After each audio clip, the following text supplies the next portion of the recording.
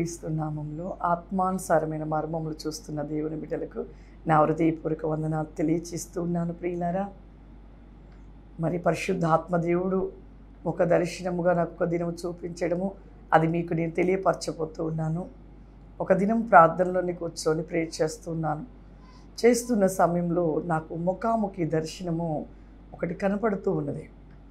ఒక చాలా ఎత్తైన మరి వరద కలిగిన స్థలం చాలా భయంకర చాలా ఒక పెద్ద కొండల నుండి వాటర్ పడుతూ ఉంది. ఆ కొండల నుండి వాటర్ పడుతూ పడుతూ కింద భాగానికి పడిపోతూ ఉన్నది. అలా కొండ వైపుగా నా కనులు కనపడి చూస్తూ ఉన్నాను దర్శనము. చాలా ఎత్తైన కొండలు. ఆ కొండల నుండి మరి వాటర్ పడుతూ వస్తూ ఉన్నది. ఆ పడుతూ వస్తూ ఉండగా ఆ కొండ పైన భాగంలో ఆశ్చర్యం ఏమిటంటే ఒక రాళ్ళ వంటివి ఏడు రాళ్ళగా కనపడుతూ ఉన్నవి. నిజంగా ఆ రాళ్ళ నుండి ఒక స్వరం వినపడుతూ ఉంది. ఆ రాళ్ళు మాట్లాడుతున్నవి. ఆ రాళ్ళు ఏమని మాట్లాడుతూ ఉన్నవంటే ఆ ఏడు రాళ్ళు కూడా ఈ ఎత్తైన కొండ మీద నుండి ఆ కింద భాగంలోకి మనము చేరినట్లయితే మనము ఎంత నునుపుగా మరి ఎంత సౌందర్యంగా మనం మార్చబడతామని ఒక రాయి మరి అన్ని రాళ్ళతో చెప్పడము. నేను అలా కనులు ముచ్చుకుని నాకు నవ్వుగా అనిపిస్తుంది. ఇదేమిటి రాళ్ళు మాట్లాడడం ఏంటి? దర్శనంలో రాళ్ళు మాట్లాడడం నాకు కనపడడం ఏమిటి అని నేను అలా ఆశ్చర్యంగా చూస్తూ ఉన్నాను ప్రియులారా. కానీ ఒక్కటి మాత్రం సత్యం చెప్తున్నాను ప్రియులారా. అలా ప్రేయర్లో కూర్చున్నప్పుడు దర్శనము కనపడుతూ ఒక మన ఒక టీవీ ఎలా ఉంటుందో అలా ఉండి ఆ టీవీలో ఎలా మరి వస్తువుని చూస్తూ మాట్లాడుతున్న మాటలు వింటూ ఉంటామో అదే విధంగా నాకు కనపడుతూ ఉండేవి. అలా నాకు చూస్తూ ఉన్నాను. ఆ యొక్క రాయి మాట్లాడుతూ ఉండగా ఆ రాళ్ళలో ఇంకొక రాయి అమ్మో ఈ స్థలంలో నుండి ఆ కింద భాగానికి మనం వెళ్ళాలి అంటే చాలా శ్రమను ఎదుర్కోవాలి. అంత శ్రమను ఎదుర్కోగలుగుతామా అని మరొక రాయి అంటున్నప్పుడు ఈ రాయి అంటూ ఉన్నది. ఎందుకు మనము ఎదుర్కోలేము? మనము ఖచ్చితంగా ఆ ఆ గమ్యానికి చేరగలుగుతాము అని చెప్తున్నప్పుడు అవునవును శ్రమను భరించుట ఎంతో మంచిది అని అన్నీ కూడా ఏడు రాళ్ళు కూడా ఒక రాయికి ఒక రాయి మాట్లాడుకోవడం నాకు ఆశ్చర్యం అనిపిస్తూ ఉంది.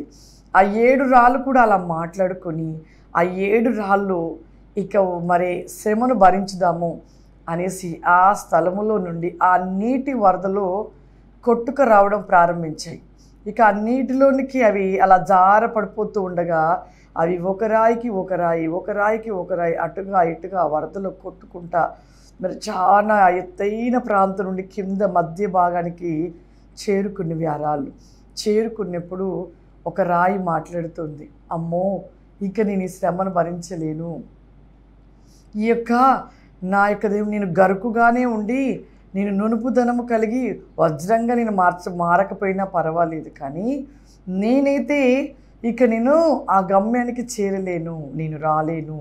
నేను ఈ రాళ్ళ మధ్యలో రాయిగానే ఉండిపోతాను.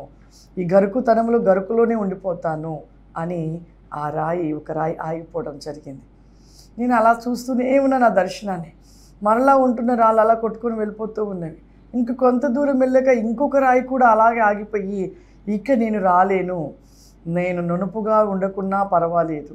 ఈ గరుకుగా జీవిస్తూ ఈ రాళ్ళ మధ్యలో పడి ఉంటాను కానీ నేను ఆ వరదలో అటుగా ఇటుగా ఆ రాయికి ఈ రాయికి కొట్టుకుంటూ తాకుతూ నేను ఈ బాధను భరించలేకపోతూ ఉన్నాను. నేను రాలేను అని ఇంకొక రాయి చెప్పడం. ఇంకా అక్కడి నుండి ఉంటున్న రాళ్ళు బయలుదేరుతూ ఉన్నవి. అలా బయలుదేరుతూ దేరుతూ కొంత దూరం వెళ్ళాక మరొక రాయి ఇక నేను అస్సలకే రాలేను. నేను ఇక్కడే పడి ఉంటాను. కానీ నేనైతే ఆ గమ్యానికి చేరలేను. ఇక నేను ఈ శ్రమ తట్టుకోలేను అని అనినప్పుడు ఆ ఉంటున్న రాళ్ళలో లేదు లేదు. ఇక మనము దగ్గరికి వచ్చేసాము. కింద దిగువ భాగానికి దగ్గర బాగా దగ్గరికి వచ్చేసాము. కింద భాగానికి మనం వెళ్ళబోచ్చు ఉన్నాము. మరి ఇంక కొద్ది సమయము కొద్ది క్షణము కొద్ది సమయమే ఉంది. మనం ఆ గమ్యానికి చేరటానికి నీవు ఆగటానికి వీల్లేదు మిత్రమా అన్నప్పుడు ఆ రాయి లేదు లేదు నేను రాలేను నా వల్ల కాదు. నేను ఈ శ్రమ భరించలేను నాకొద్దు ఆ శ్రమ నేను ఈ శ్రమ నేను తట్టుకోలేను ఇక్కడే పడి ఉంటాను అనేసి చెప్పడము. ఆశ్చర్యం అనిపిస్తుంది. నేను దర్శనం అలానే చూస్తూ ఉన్నాను. అలా దర్శనంలో ఇదంతా కనపడిపోతుంది. నిజంగా ప్రియులారా ఆ యొక్క సమయంలో నేను ప్రార్థనలు కూర్చున్నప్పుడు ఎక్కువగా ఎందుకు అంత సమయం ఈ ప్రార్థనలు కూర్చోగలుగుతానంటే నేను ముఖాముఖి దర్శనంలో ఎక్కువ చూస్తూ ఉండగా నేను ఎన్ని గంటలు ప్రార్థనలు కూర్చున్నా కూడా నాకు అర్థమయ్యేది కదా. అన్ని గంటలైనా అలా చూస్తూ కూర్చు కూర్చొని ప్రార్థిస్తూ ఉండేదాన్ని. ఇక ఆ రాయి అలా చెప్పడము అక్కడ నుండి ఇంకా ఉంటున్న ఆ ఒక రాళ్ళు ఇంకా నాలుగు రాళ్ళగా నిలిచి ఉన్నవి. మూడు రాళ్ళు అక్కడ అక్కడ మూడు రాళ్ళు ఆగిపోయాయి. ఇక ఈ నాలుగు రాళ్ళు కూడా అలా నీళ్ళలో కొట్టుకొని కొట్టుకొని కొట్టుకొని పోతూ ఉన్నవి. ఇంకా ఇంకా దగ్గరగా వెళ్ళగా ఇంకొక రాయి ఇక ఆగిపోయి ఏమిటి మిత్రమా బయలుదేరంటే? ఆ రాయి చెప్తూ ఉంది. లేదు లేదు నేను రాలేను. ఎందుకు అంటే నా వల్ల కాదు అని చెప్తున్నప్పుడు ఇంత శ్రమను భరించావు. ఇంకా కొద్ది దూరం అయితే మనము ఆ గమ్యానికి చేరుతాము. మరి ఆ కొద్ది సగం మరి సమయం ఓర్చుకున్నట్లయితే ఆ గమ్యానికి చేరుతాము. అని ఆ రాళ్ళు మూడు చెప్తూ ఉండగా ఈ రాయి లేదు లేదు నేను కొద్దిగా నునుపుగా అయ్యాను కానీ ఇక నేను నునుపుగా కాకపోయినా పర్వాలేదు. స్థలంలో ఈ రాళ్ళ మధ్యలో ఉండిపోతాను కానీ నేనైతే ఆ గమ్యానికి చీరలేను. ఎంతగా మరి ఆ ఉంటున్న రాళ్ళు బతిమిలాడినా కూడా ఆ రాయి ఒప్పుకొనక అలా ఉండిపోవుట. ఇక ఉంటున్న ఆ మూడు రాళ్ళు ఆ వరదకి విపరీతంగా కొట్టుకుంటూ కొట్టుకుంటా అలా చివరికి ఆ కింద భాగానికి వెళ్ళగా ఆ మూడు రాళ్ళు ఎంత నునుపుగా వజ్రములుగా మార్చబడి ఉన్నాయి ప్రియులారా. నిజంగా అలా చూస్తున్న దర్శనంలో ఆశ్చర్యం అనిపిస్తూ ఉన్నది. ఆశ్చర్యంగా నేను చూస్తూ ఉన్నాను. అలా చూస్తూ ఉండగా ఆ యొక్క రాళ్ళని ఒక వ్యక్తి తెల్లటి మహిమ కలిగిన వ్యక్తి ఆ స్థలంలోనికి వచ్చి ఆ నీటి భాగంలో ఉన్న ఆ నునుపు కలిగి వజ్రంగా మార్చబడిన ఆ రాళ్ళని అన్నీ కూడా ఎన్నో రాళ్ళు ఉన్నాయి. కానీ అలా కొన్ని రాళ్ళు మాత్రమే.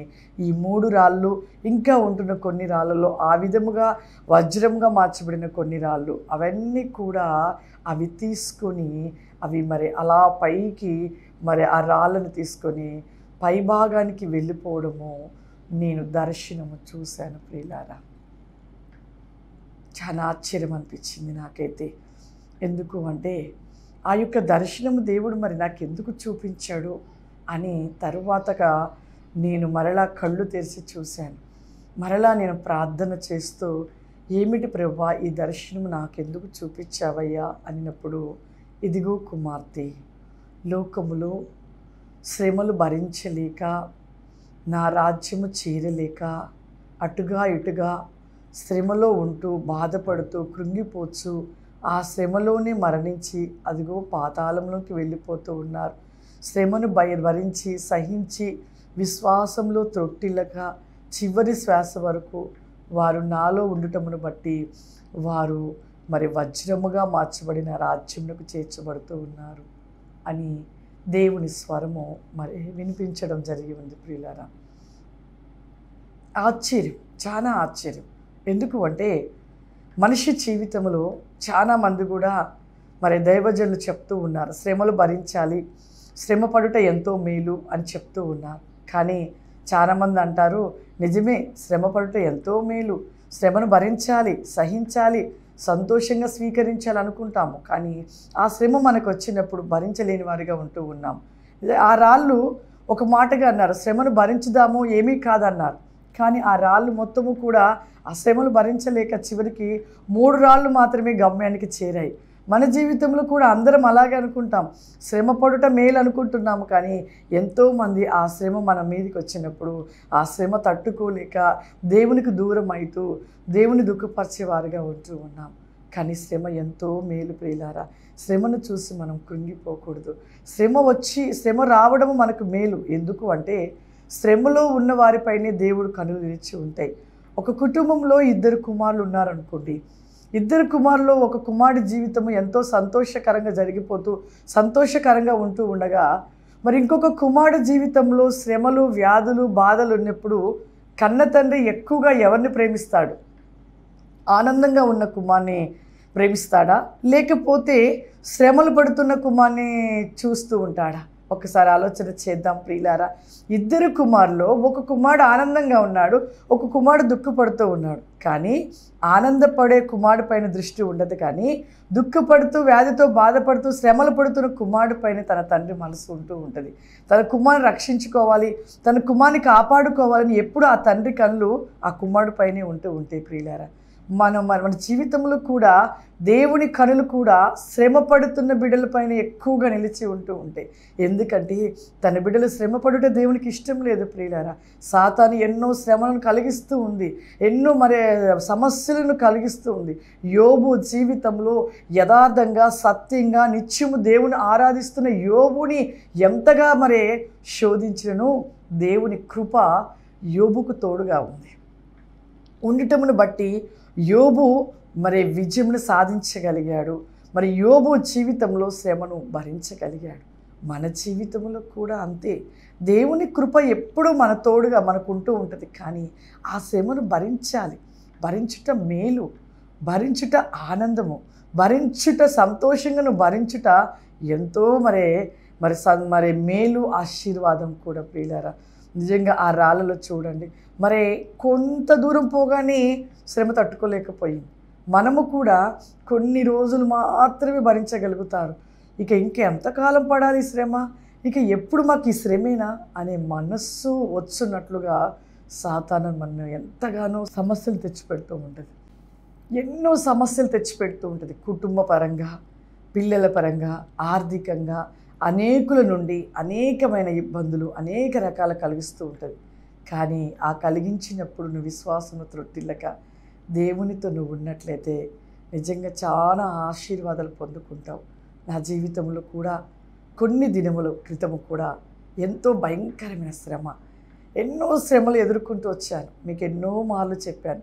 యోబు ఈ మీద తీసుకున్న పర్మిషన్ అపవాది ఏ విధంగా తీసుకుందో అదే విధంగా నాపై కూడా ఎన్నో మార్లు పర్మిషన్ తీసుకోవడము ఎన్నో ఇబ్బందులు కలిగించినను మా ఇల్లుని కూల్చివేసినట్టుగా చేసినను వ్యాధిపరంగా నాకు ఎంతో బాధను కలిగించినను సంతోషంగా స్వీకరించి ఆనందంగా స్వీకరించి ఉన్నానని మీకు ఎన్నో మార్లు చెప్పాను. అపవాది చాలా భయంకరమైన శ్రమను కలిగించింది. రెండు నెలల క్రితము దేవాది దేవుడు ఒక మాట నాకు తెలియపరిచారు. నీవు ఏడు దినములు ఉపవాసం ఉండి ప్రార్థించుము. నిన్ను నా రాజ్యమునకు నేను కొనిపోతాను రెండు దినములు నేను కొనిపోతాను కుమార్తెని. మరి రెండు నెలల క్రితము మాట్లాడడం జరిగి ఉన్నది. ఆ రెండు నెలల క్రితం మాట్లాడినప్పుడు అక్టోబర్లో మాట్లాడి ఉన్నారు. అక్టోబర్లో మాట్లాడినప్పుడు నేను ఏడు దినములు ఉపవాసం ఉన్నాను. ఏమీ తీసుకోకుండా మచ్చికతో ఉపవాస ప్రార్థనలో ఉన్నప్పుడు రెండు దినములు పరలోకానికి కొనిపోయారు ప్రభువారు. ఎంతో మరి రాకడ యొక్క మర్మములు తెలియపరిచారు. అద్భుతముగా ఆయన యొక్క రాకడ సమీపము అయిన మర్మములు తెలియపరిచారు. ఇక ఉంటున్న కడమ దినములు కూడా దేవాది దేవుడు మరి ముఖాముఖి దర్శనములు ఎన్నో మర్మములుగా తెలియపరిచారు. అలా ఏడు దినములు అయిపోయి ఇక నేను పూర్తి చేసుకొని ఇంటిలోనికి వచ్చాను.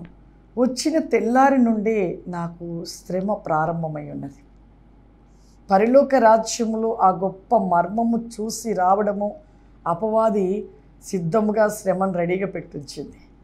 వెంటనే ఆ యొక్క తెల్లవారి ఉదయం కాలమే మా సంఘము నుండి కొంతమంది అనేకమైన అలజడు లేపారు.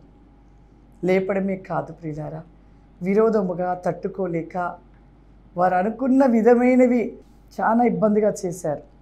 అయినా పర్వాలేదు.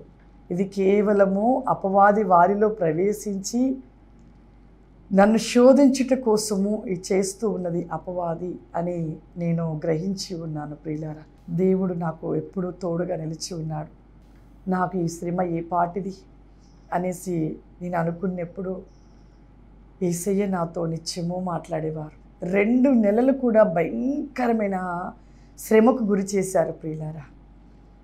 పరలోకాన్ని తెలియపరచకుండా ఉండట కోసం ప్రపంచవ్యాప్తంగా నేను చూసినది తెలియపరచకుండా ఉండాలి ఉండటం కోసము ఆ విధముగా రెండు నెలలు కూడా చాలా శ్రమకు అప్పగించారు.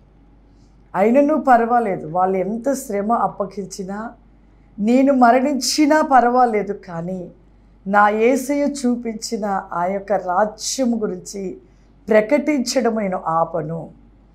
ఆయన రాజ్యపు మర్మములు తెలియపరచడం నేను ఆపను. ఎందుకు అంటే ఆ దేవాది దేవుడు పనికిరాని నన్ను ఆ పరలోక రాజ్యానికి తీసుకువెళ్ళి ఎన్నో చూపించాడు. గొప్పవారు ఉన్నారు గనులైన ఉన్న గనులైన వారు ఉన్నారు. కానీ వారిని దేవుడు తీసుకెళ్ళక ఎందుకు నేను పనికిరాను? దానిని కదా. నాకు చూపించిన ఆ దేవుని యొక్క రాజ్యపు మర్మములు నేను ఖచ్చితంగా ప్రకటిస్తాను. నన్ను మరణింప చేసినా పర్వాలేదు నేనైతే తెలియపరచడము ఖచ్చితంగా తెలియపరుస్తానని ఒక తీర్మానంగా చేసుకున్నాను. నేను యూట్యూబ్ ఛానల్లో పెట్టడము అనేకులకు ఇష్టం లేక ఎన్నో రకములుగా రెండు నెలలు కూడా చాలా ఇబ్బంది చేశారు. దేవాది దేవుడు నన్ను నిత్యము నాతో ఉంటూ నాతో మాట్లాడుతూ నాకు ఎటువంటి అపాయము రాకుండా క్షేమంనిచ్చి నన్ను దేవుడు మరలా ఆ యొక్క శ్రమ నుండి తప్పించి రక్షించారు ప్రియులారా. కాబట్టి శ్రమలో ఆనందం ఉంది శ్రమలో సంతోషం ఉంది శ్రమలో దేవుడు మనతో ఉండి మాట్లాడుట ఎంతో మేలు నాకు అనిపించింది. ఆ రెండు నెలలు కూడా అంతగా శ్రమ కలిగినా నాకు తర్వాత అనిపించింది. ఈ శ్రమ నాకు ఎప్పుడున్నా పర్వాలేదు. ఎందుకంటే ఎప్పుడు నా ఏసీ నాతో మాట్లాడతాడు. నాతో ఉన్నాడు. నాకు చాలు. ఆ శ్రమ లేకపోతే ఇంతగా మాట్లాడకపోవునేమో దేవుడు.